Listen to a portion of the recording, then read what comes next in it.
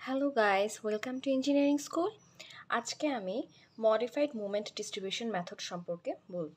So let start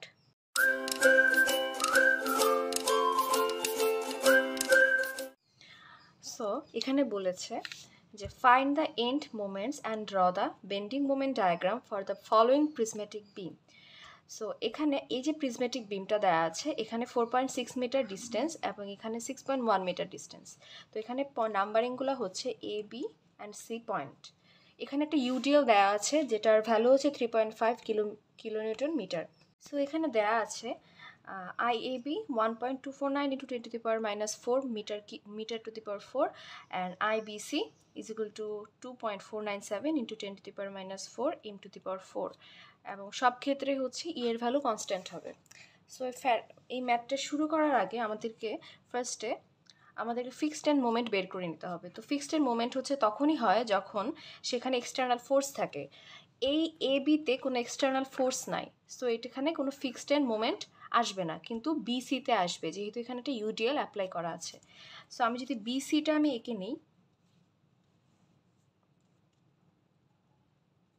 আচ্ছা এখানে আমি কেন এটা ফিক্সড সাপোর্ট দিয়েছি? কারণ আমি আগের ভিডিওতে আমি বলেছিলাম যে, আমি মোমেন্ট ডিস্ট্রিবিউশন মেথডে যে কোনো একটা পয়েন্টকে আমি ফিক্সড করে নিব। তো আমি এখানে বিকে আমি লক করেছি। Lock joint B BK lock করেছি, কারণ এক্ষেত্রে আমার ক্যালকুলেশনের একটু সুবিধা হবে। আমি যদি সিকে লক করতাম, সেক্ষেত্রে আমার ক্যালকুলেশন অনেক বড় হতো। এই জন্য এটাকে মডিফাইড মুভমেন্ট ডিস্ট্রিবিউশন মেথড বলছে, যে আমি মিডল যে সাপোর্টটা সেই সাপোর্টটাকে আমি ফিক্সড করে দিচ্ছি। সেক্ষেত্রে এই পাশটা ক্যান্টিলিভারের মতো আচরণ করবে কিছুটা। সো এখানে একটা ইউডিএল আছে এবং একটা বি সি এখানে মোমেন্টের ভ্যালুগুলো হবে fixed end moment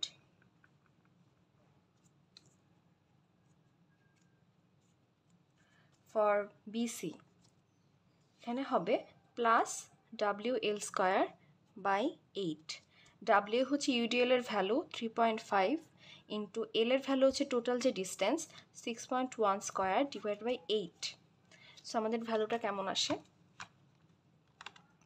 Three point five into six point one whole square divide by eight sixteen point two eight positive sixteen point two eight kilo newton metre আচ্ছা এখন একটা জিনিস জানতে হবে আমাদের যে কেন এটির ক্যালকুলেশন ছোট হচ্ছে? বিকজ এখানে আমি যে ফিক্সড এন মোমেন্ট সিবিতে পাচ্ছি সেটা হচ্ছে জিরো কেন জিরো কারণ এখানে কোনো ফিক্সড জয়েন্ট না থাকার জন্য এই ভ্যালু এখানে কোনো মোমেন্ট আসবে না।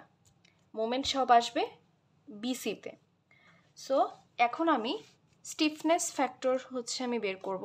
Stiffness factor K B A K B এর জন্য আমার স্টিফনেস ফ্যাক্টরটা হবে কত?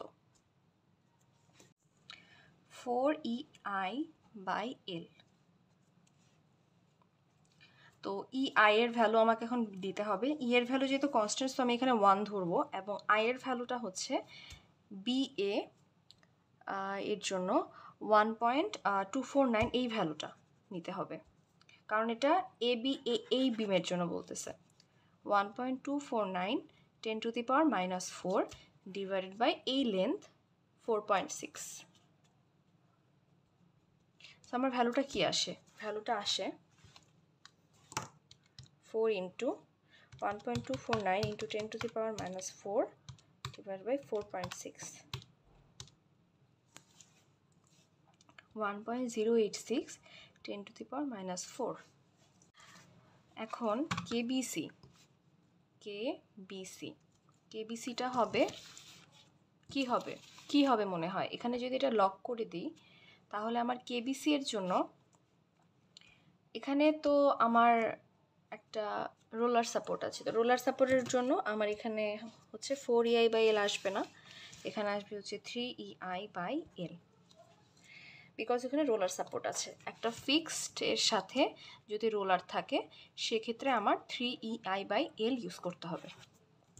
আর যদি দুইটা ফিক্সড থাক ফিক্স থাকে, দুইটাই যদি ফিক্স থাকে, তাহলে আমার আসবে four E I by L তাহলে আমার এখানে ভ্যালুটা তাহলে আমি লিখে নিই যে এই আয়ের ভ্যালুটা এখন চেঞ্জ হয়ে এই যে এটা হয়ে যাচ্ছে। Two point four nine seven ten to the power minus four divided by এটার ডিস্টেন্স কত? সিক্স পয়েন্ট ওয়ান তো ভ্যালুটা কত আসে? ক্যালকুলেট করে নিই। Three into two point four nine seven ten to the power minus four divided by six point one one point two two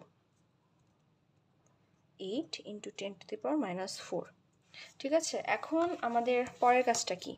For finding the distribution factor তো আমাদেরকে প্রথমে distribution factor for AB এবিতে আমাদের distribution factor obviously zero হবে because সেখানে একটা fixed support আছে।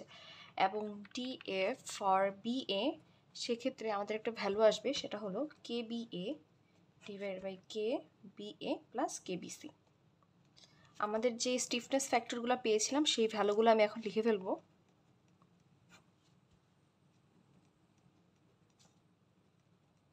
আমি এখানে টেন টু মাইনাস ফোর সবগুলো হচ্ছে বাদ দিয়ে দিচ্ছি।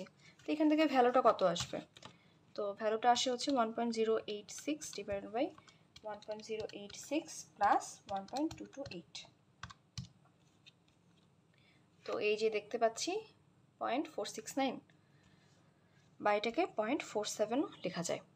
তো এখন ডিস্ট্রিবিউশন ফ্যাক্টর ফর বিসি এটা কত হবে? এটা হচ্ছে K BC divided by K B A plus K B C এইগুলা আমাদেরকে জেনে নিতে হবে কেন হয়। জয়েন্ট জয়েন্ট হিসাব।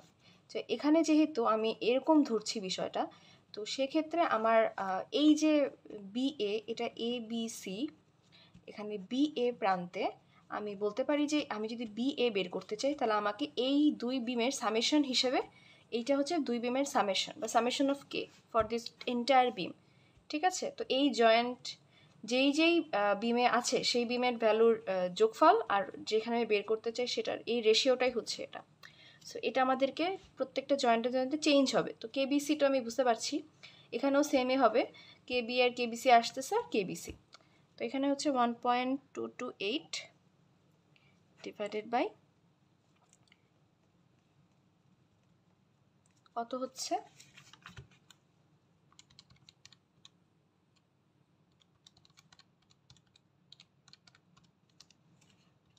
তো এই যে ভ্যালু আসছে four three sorry five three zero point five three আচ্ছা তো এখন আমাদের একটা জিনিস জেনে নেওয়া উচিত যে আমার এই সিবিতে কত আসবে।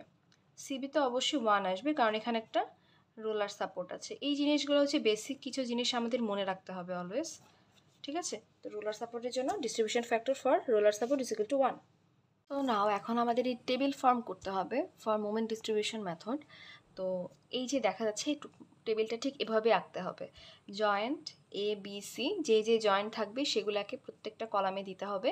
দেন মেম্বার মেম্বার হবে A B B A B C CB distribution factor আমরা বের করেছিলাম, তো আমরা জানি ফিক্সডের জন্য জিরো হয়, আর বি পয়েন্টে আমার দুইটা ডিস্ট্রিবিউশন ফ্যাক্টর আসছিল, এই যে এই দুইটা। সো আমি এই দুইটা লিখে নিব point four seven point five three এবং রোলার সাপোর্টের জন্য ওয়ান হয়, আমরা যেটা জানি। এখন ফিক্সড এন্ড মোমেন্ট আমি বের করেছিলাম এই ভিডিওর শুরুর দিকে আছে, তো ফিক্সড এন্ড মোমেন্টটা হবে শুধুমাত্র বি পয়েন্টে এখানে। কত ছিল? Plus sixteen point two eight এখন ডিস্ট্রিবিউশন মোমেন্টটা কী হবে? ডিস্ট্রিবিউশন মোমেন্টটা হবে এই যে sixteen point two eight sixteen point two এইটের সাথে এটা গুণ দিতে হবে। অর্থাৎ sixteen point two eight into zero point five three করলে আমার আসে এইট পয়েন্ট সিক্স যেহেতু এটা পজিটিভ আমার ডিস্ট্রিবিউশন মোমেন্টে এটা নেগেটিভ হয়ে যাবে eight point six two eight ঠিক আছে? এবং ঠিক এর যে অংশটা হচ্ছে বাকি থাকে sixteen point two eight minus eight point six two eight এই ভ্যালুটা আমার এখানে লিখতে হবে minus seven point six five two so আমাদের আর কাজ নেই। এখন আমরা ক্যারি ওভার করে দিব। ক্যারি ওভার অবশ্যই শুধুমাত্র ফিক্সড জয়েন্টেই হবে। কোনো রোলারে আমাদের ক্যারি ওভার আসবে না। তাহলে এই ভ্যালুটার হাফ কত? Seven point six five two divided by two is equal to এই যে three point eight two six আচ্ছা তো এখন আমাদের ফাইনাল মোমেন্ট কি আসবে? ফাইনাল যে মোমেন্ট